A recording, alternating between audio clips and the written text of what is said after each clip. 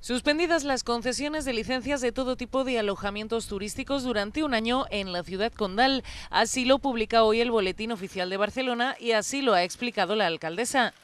Esta es una suspensión preventiva cautelar y temporal de un año que queremos aprovechar para hacer una reflexión pausada, colectiva, con la máxima participación de todos los actores sobre cómo eh, uno de los principales activos de la ciudad, que es el turismo, lo hacemos eh, sostenible a lo largo del tiempo. Una medida que ha sido rechazada por la oposición en bloque, quienes han cargado contra el modelo de gestión de Colau. Nos preocupa la incertidumbre que pueda generar en el contexto internacional, pero sobre todo nos preocupa la incertidumbre que pueda generar sobre la afectación de los puestos de trabajo en sectores transversales que están viviendo también de la actividad turística, como son pues, el sector del comercio, el sector de la restauración o el sector, por ejemplo, pues, de las agencias de viajes.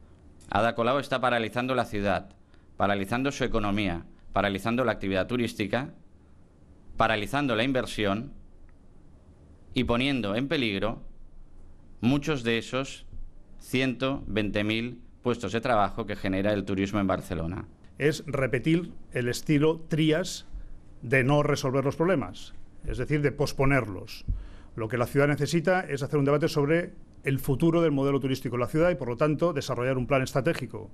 Pero la alcaldesa insiste en que no afectará negativamente al turismo de Barcelona. No se para la actividad turística con, esta medida, al contrario, lo que se hace es una suspensión de nuevas licencias de alojamientos turísticos y el sector turístico, por lo tanto, está en plena forma y en plena actividad en nuestra ciudad, con lo cual seguirá creando puestos de trabajo.